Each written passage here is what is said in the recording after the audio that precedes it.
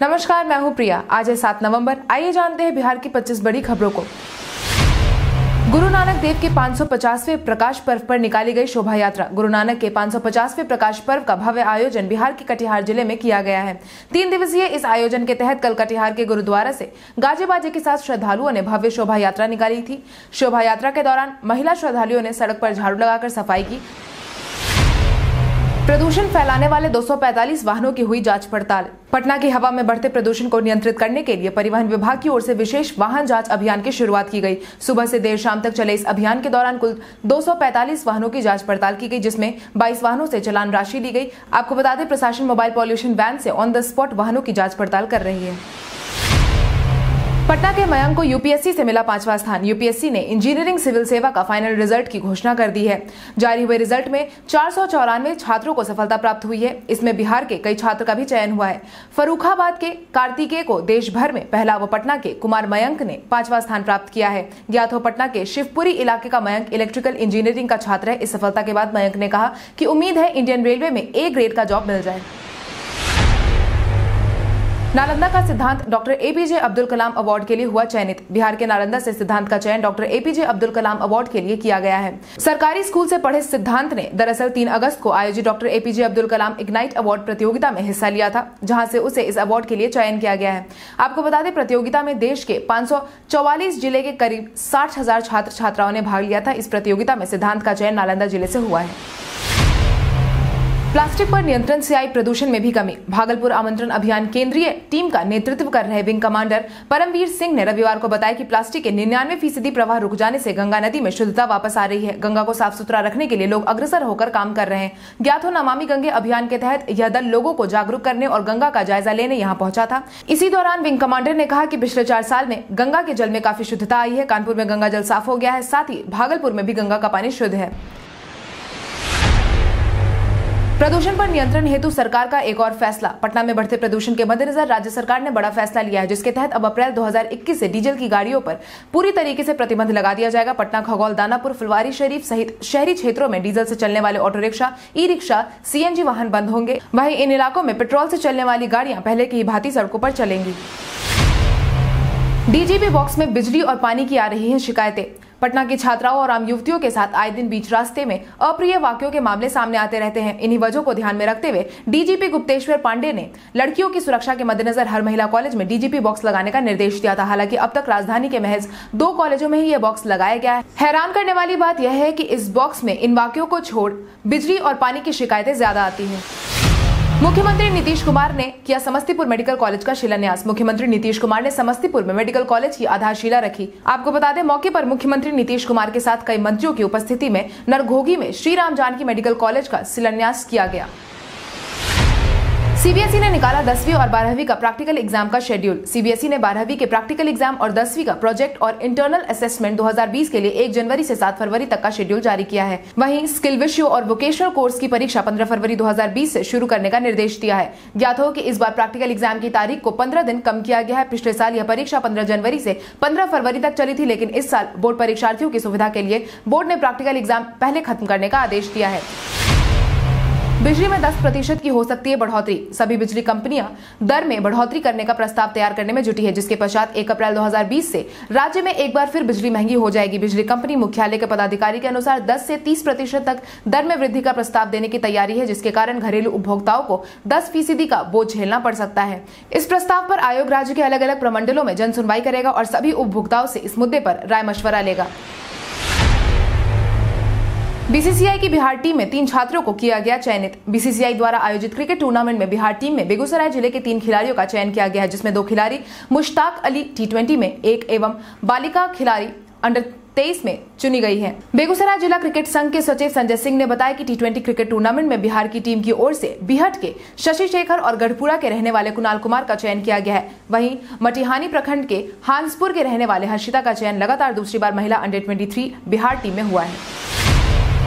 बाढ़ में हुए नुकसान की भरपाई के लिए बीमा कंपनी को दिए गए सख्त निर्देश।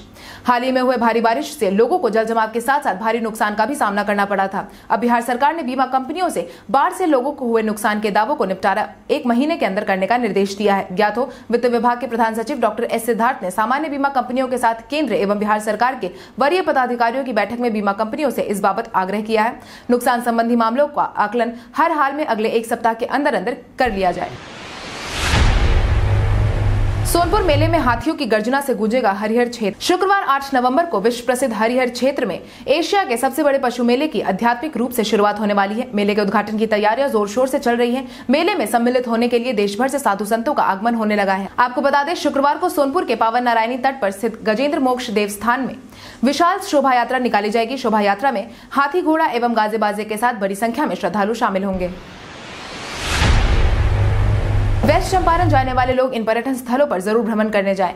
वेस्ट चंपारण जाने वाले लोग इन मशहूर स्थलों का भ्रमण करना ना भूलें। वाल्मीकि राष्ट्रीय उद्यान, त्रिवेणी संगम, भिथरवाज आश्रम सुमेश्वर किला, मछली लोक, सरया मान और भिखना ठोडी ज़रूर घूमने जाए। पटना से वेस्ट चंपारण खुद की गाड़ी से सफ़र करने वाले यात्रियों को लगभग सात घंटे का सफ़र करना होगा। पटना से वेस्ट चंपारण की दूरी बाई रोड दो किलोमीटर है। आरक्षण काउंटर से टिकट लेने पर अब आएगा मैसेज। रेलवे अब आरक्षण टिकट नियम में बदलाव करने जा रही है, जिसके तहत अब रेल काउंटर से आरक्षण कराकर ट्रेन से सफ़र करने वाले यात्रियों की मुश्किलें थोड़ी कम हो जाएँगी। अभी तक चार्ट बनने के बाद यात्रियों को संबंधित फ़ोन नंबर पर संदेश आता था, मगर अगले साल से आरक्षण कराते ही मैसेज फ़ोन पर आ जाएगा। ज्ञात हो, ऑनलाइन टिकट लेने पर यात्रियों के मोबाइल पर मैसेज चला जाता था, लेकिन आरक्षण काउंटर से टिकट लेने पर ऐसा कोई नियम नहीं था। सफ़र करने वाले दिन ही यात्रियों को अपने यात्रा संबंधी जानकारियाँ मिलती थी। आठ जून को निकलेगा जेईई एडवांस 2020 का रिज़ल्ट। अगले साल होने वाले जेईई एडवांस परीक्षा के रिज़ल्ट की तारीख की घोषणा कर दी गई है। इस परीक्षा का रिज़ल्ट 8 जून 2020 को जारी किया जाएगा। साथ ही जेईई एडवांस परीक्षा 2020 के लिए आईआईटी दिल्ली ने सिलेबस भी अपलोड कर दिया है। फिजिक्स, केमिस्ट्री, मैथमेटिक्स तथा आर्किटेक्चर एप्टीट्यूड टेस्ट के लिए सिलेबस आधिकारिक वेबसाइट पर अपलोड कर दी गई है। अभ्यर्थी एडवांस की वेबसाइट से सिलेबस डाउनलोड कर अपनी तैयारियों में लग सकते हैं। संभावित कोहरे को लेकर एक फरवरी तक कई ट्रेनें हुई रद्द। ठंड में दिसंबर से जनवरी तक लगने वाले संभावित कोहरा को देखते हुए रेलवे पूरी तरह सतर्क हो गया है। कोहरे जैसी परिस्थिति से निपटने के लिए और यात्रियों के सफ़र के दौरान परेशानियों से बचाने के लिए कुछ ट्रेनों को रद्द तो वहीं कुछ ट्रेनों का आंशिक समापन कर दिया गया है। रद्द ट्रेनों की सारी जानकारी यात्रियों को मैसेज द्वारा बताई जाएगी। रेलवे के अनुसार ट्रेन संख्या एक चार शून्य शून्य तीन मालदा टाउन नई दिल्ली एक्सप्रेस का परिचालन इक्कीस दिसंबर से एक फरवरी तक नहीं होगा। वहीं ट्रेन संख्या एक चार शून्य शून्य चार डाउन नई दिल्ली मालदा एक्सप्रेस नई दिल्ली से उन्नीस दिसंबर से तीन जनवरी तक रद्द कर दी गई है। राजद को रास नहीं आई नड्डा और मुख्यमंत्री नीतीश कुमार की मुलाकात। जेपी नड्डा और नीतीश कुमार की मुलाकात पर विपक्षी तंज शुरू हो गए हैं। आरजेडी नेता सुबोध राय ने इस मुलाकात पर अपनी प्रतिक्रिया देते हुए कहा है कि जेपी नड्डा मुख्यमंत्री नीतीश कुमार को सचेत करने गए होंगे। यदि साथ छोड़ेंगे तो अंदर कर देंगे। मुजफ्फरपुर मामला और सृजन जैसे मामलों में फंसा देंगे। भाजपा जानती है की वह जदयू के बिना शून्य है। गैर शैक्षणिक कार्यों से सरकारी विद्यालय के शिक्षकों को किया जाएगा मुक्त। सरकारी स्कूल के शिक्षकों के लिए राहत वाली एक बड़ी खबर है। आने वाले दिनों में सभी गैर शैक्षणिक कार्यों से पूरी तरह से मुक्त कर दिया जाएगा। ऐसे में उनके जिम्मे अब सिर्फ़ और सिर्फ़ बच्चों को पढ़ाने की ही जवाबदेही रहेगी। अभी सरकारी विद्यालयों के शिक्षकों को बच्चों को पढ़ाने से अधिक मिड डे मील तैयार करने और उन्हें खिलाने का अधिक फोकस रहता है। इसके अलावा मतदान सूची तैयार करके जनगणना आदि भी लगाया जाता है। पटना के खादी मॉल ने पहले ही दिन तोड़ा रिकॉर्ड। पटना खादी मॉल ने उद्घाटन के बाद ही तेरह लाख की बिक्री कर एक नया रिकॉर्ड दर्ज किया है। खादी मॉल में ऐसे रिस्पांस की उम्मीद उद्योग विभाग को भी नहीं थी। पहले ही दिन पटना के लोगों ने खादी मॉल को लेकर ज़बरदस्त उत्साह दिखाया। मुख्यमंत्री नीतीश कुमार द्वारा जैसे ही मॉल का उद्घाटन किया गया, वैसे ही लोगों की भीड़ खरीदारी के लिए खादी मॉल पहुँचने लगी। आपको बता दें, खादी मॉल में हर तरह के सामान की बिक्री हुई है, लेकिन सबसे ज़्यादा बिक्री खादी के कपड़ों की हुई है। बिहार विधानमंडल का शीतकालीन सत्र 22 से 28 नवंबर तक। पाँच दिवसीय बिहार विधानमंडल की शीतकालीन सत्र की शुरुआत 22 नवंबर से हो जाएगी। यह सत्र 22 नवंबर से लेकर 28 नवंबर तक चलेगा। इस बाबत बिहार विधानसभा के उप सचिव राजीव कुमार ने बताया कि सत्र के दौरान 22 नवंबर को 2019-20 के द्वितीय अनुपूरक व्यय विवरणी को पेश किया जाएगा।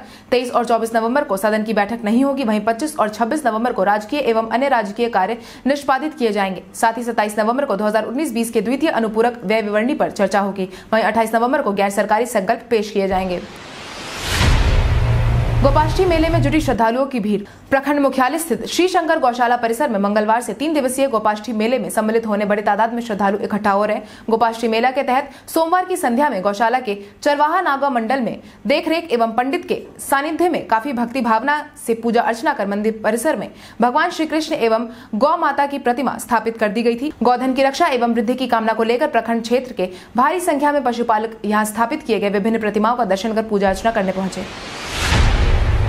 जदयू का विधानसभा सम्मेलन होगा 15 दिसंबर को। 2020 के विधानसभा चुनाव के लिए जनता दल यूनाइटेड ने तैयारी शुरू कर दी है। इस बाबत 15 दिसंबर से जदयू अपना विधानसभा सम्मेलन शुरू कर देगी, जो कि 5 जनवरी तक चलेगा। इस कार्यक्रम पर प्रदेश जदयू कार्यालय में पार्टी पदाधिकारियों और संगठन प्रभारियों के साथ हुई बैठक में मुहर लगाई गई है। आरसीपी सिंह के नेतृत्व में हुई इस बैठक में पंद्रह दिसंबर ऐसी पाँच जनवरी के बीच सभी विधानसभा क्षेत्रों में कार्यकर्ता सम्मेलन का आयोजन करने का फैसला किया गया है। अब आइए जानते हैं मौसम का हाल। कैमूर, मुंगेर, दरभंगा, गया, किशनगंज, लखीसराय, मधुबनी, मुंगेर, पटना, पूर्णिया, बेगूसराय, भागलपुर, अररिया बांका शेखपुरा सीतामढ़ी, जमुई, कटिहार, मधेपुरा, नालंदा, नवादा, सहरसा, समस्तीपुर, सुपौल में सुबह में धुंध के साथ दिन भर हल्की धूप के साथ मौसम सामान्य रहेंगे। वहीं मुजफ्फरपुर, शिवान, रोहतास, औरंगाबाद, भोजपुर, बक्सर, ईस्ट चंपारण, गोपालगंज, जहानाबाद में भी दिन में हल्की धुंध के साथ हल्की धूप के साथ मौसम सामान्य रहने के आसार है।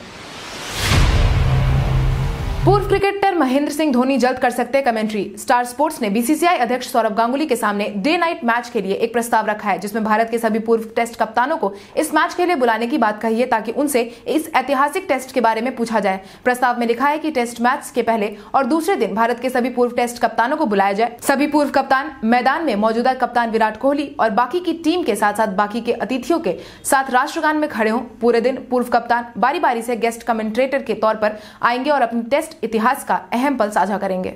अगर आप क्रिकेट प्रेमी हैं तो हमारा बिहारी न्यूज़ आपके लिए एक नया यूट्यूब चैनल लेकर आ रहा है, जिसका नाम है चक दे क्रिकेट। तो क्रिकेट से जुड़ी सारी जानकारियों से अपडेटेड रहने के लिए हमारे नए YouTube channel Chak De cricket को सब्सक्राइब करें, वीडियोस को लाइक करें, जिसका लिंक आपको नीचे डिस्क्रिप्शन बॉक्स में मिल जाएगा।